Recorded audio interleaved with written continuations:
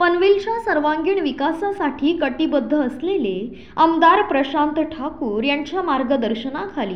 सुमारे तीस कोटी रुपयांच्या विकास कामांचे भूमिपूजन भाजपचे ज्येष्ठ नेते श्रीनंद पटवर्धन यांच्या हस्ते शुक्रवारी झाले. या कार्यक्रमाला माजी महापौर डॉक्टर कविता चौतमोल आणि माजी सभागृह नेते परेश ठाकूर उपस्थित होते. कार्यसम्राट आमदार प्रशांत ठाकूर यांच्या माध्यमातून पनवेलचा सर्वांगीण विकास वेगाने होत आहे. त्या अंतर्गत आमदारांच्या मार्गदर्शनाखाली आणि महापालिकेचे माजी सभागृह नेते परेश ठाकूर यांच्या पुढाकाराने तब्बल तीस कोटी पंचाहत्तर लाख बत्तीस हजार सातशे अठ्ठावन्न रुपयांतून पनवेल शहरातील रस्त्यांचे कॉन्क्रिटीकरण तसेच इतर अनुषंगिक कामे करण्यात येणार आहे. यामध्ये पनवेल शहरातील लोकमान्य टिळक मार्ग महात्मा ज्योतिबा फुले मार्ग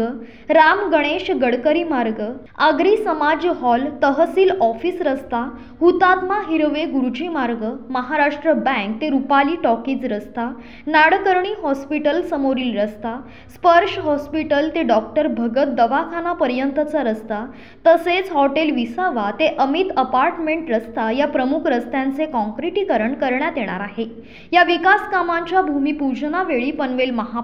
महापालिकेच्या माजी महापौर डॉक्टर कविता चौतमोल माजी सभागृह नेते परेश ठाकूर भाजपचे पनवेल शहर अध्यक्ष अनिल भगत माजी नगरसेवक मनोहर म्हात्रे राजू सोनी अजय बहिरा माजी नगरसेविका दर्शना भोईर रुचिता लोंढे जिल्हा चिटणीस अमरीश मोकल संजय भगत अमित ओझे केदार भगत युवा मोर्चा पनवेल शहर अध्यक्ष सुमित झुंजारराव मयुरेश खिस्मतराव अंजली इनामदार देवांश प्रभाळे अक्षय सिंग ठेकेदार पी डी देशमुख यांच्यासह मान्यवर उपस्थित होते.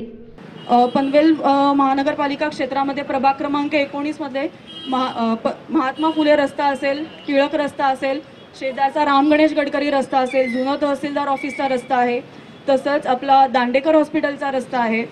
जुनं आदर्श हॉटेल ते छत्रपती शिवाजी महाराजांचा चौक इकडचा रस्ता असेल तसंच I D I I S B I bank पासून ते मार्केट यार्डचा रस्ता असेल अशा एकूण दहा का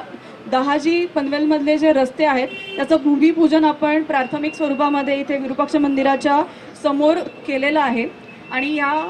उद- या भूमिपूजनाच्या अनुषंगाने आपण कार ह्याच्यामध्ये कामं अशी काढतोय की दुतर्फा जी गटारं आहेत ती रुंदीकरण न करता आत्ता ज्या ठिकाणी आहेत तिथेच या गटारांचं आपण हेवी ड्युटीमध्ये कन्व्हर्जन करणार आहोत. आणि रुंदीकरण झालं नसल्यामुळे शंभर टक्के कॉन्क्रिटीकरण आपण करू शकत नाही. त्यामुळे जर पाण्याच्या कुठल्या व्यवस्था जर आपल्याला अपुऱ्या होत असतील तर त्या पाण्याच्या पाईपलाईन्स चेंज करणं ड्रेनेजच्या पाईपलाईन चेंज करून झाल्यानंतर आपण सिंगल लेअर कॉन्क्रीट ज्याला पी क्यू सी म्हणतात ते काम आपण इथे काढलेलं आहे. असं मिळून आपण एकूण पंचवीस कोटीचं पूर्ण काम हे प्रशांतदादांच्या मार्गदर्शनाखाली